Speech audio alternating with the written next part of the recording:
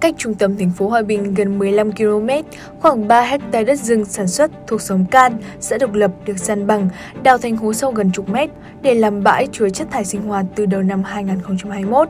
Nhìn từ trên cao, rác thải bắt đầu phân hủy, dỉ nước. Từ tháng 8 năm 2021, việc vận chuyển rác tới đây đã dừng, lượng rác tồn động khoảng 5.000 tấn.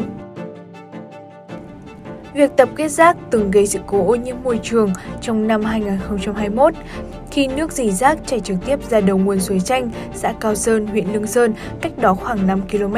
Chính quyền thành phố Hòa Bình sau đó đã phải gia cố lại các hố chứa.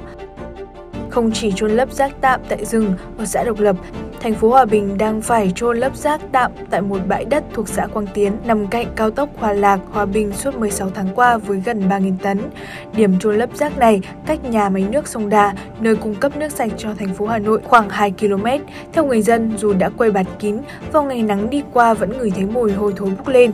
Đến hết tháng 10, thành phố Hòa Bình đang tồn động 11.488 tấn rác thải sinh hoạt chưa được xử lý, trong đó khối lượng rác thải sinh hoạt phát sinh mỗi ngày tại thành phố là 75 tấn.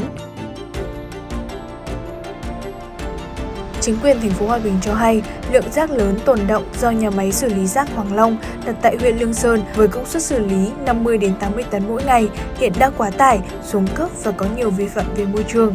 Trong đó, dự án xử lý rác thải Thịt Minh cách thành phố Hòa Bình khoảng 20 km đang phải đóng cửa gần 2 năm do đường dẫn vào chưa hoàn thiện.